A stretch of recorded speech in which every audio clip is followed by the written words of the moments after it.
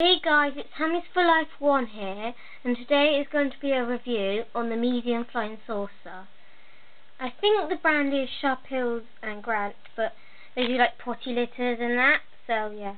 Um, I suggest that if you have a big Syrian hamster, get in the large flying saucer, as it can be in some aspects small for big Syrian. Um, but if you're small Syrian, like this one here, I would say it's fine. And if you have a dwarf, um, this there I I would suggest this one's quite good too. But the only problem is it's hard to get um, hold of the large ones really because I've looked on their website they don't say prices and that so I went for the medium one.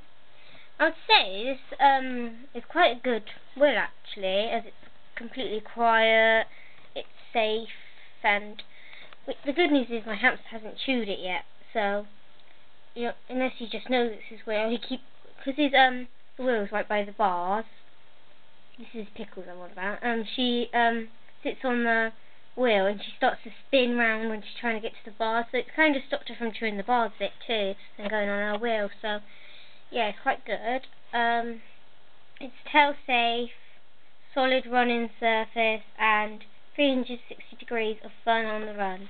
So, as you see it has a gerbil on the front too, but if you like you have two gerbils, I would suggest getting the large so they can both, you know, have a run. Um, it's 16.5 inches, which is 16.5 centimetres and 6.5 inches. So, I will show you it at the moment, but my, it's in my Pickles' cage, so can't really get it out while she's sleeping. And it's the safest exercise toy in the world. Yep, and luckily it's squeak resistant, so most nights I'm trying to um, get to sleep and I hear the wheel going round and round. Oh, by the way, this is a rolly wheel that does this, and yeah, and I've tried using some Vaseline, and it's just not doing anything. It's just acting the same I don't know if it's where, because on my um, cage is like a base there, then a um, the metal bars. Because when the wheel is on the bars, because the hamster puts weight on, it knocks against the bar, so that might be what's squeaking. Because when I do it normally, it just goes zoop, like that. But when it's on the bars, it goes squeak, and it's really annoying. So I just got this for a trial, like I said in my video about it. And I hope it goes well because it looks really cool actually. And you can get it in three colours, which is purple, blue and green, which I got green. Yeah, and I didn't really like the blue one or the purple one, so yeah. Just hope it goes well. Um, because I haven't ever seen a, silent spinner yet. And I was going to get one of them, but I couldn't find one, so I went with the flying saucer.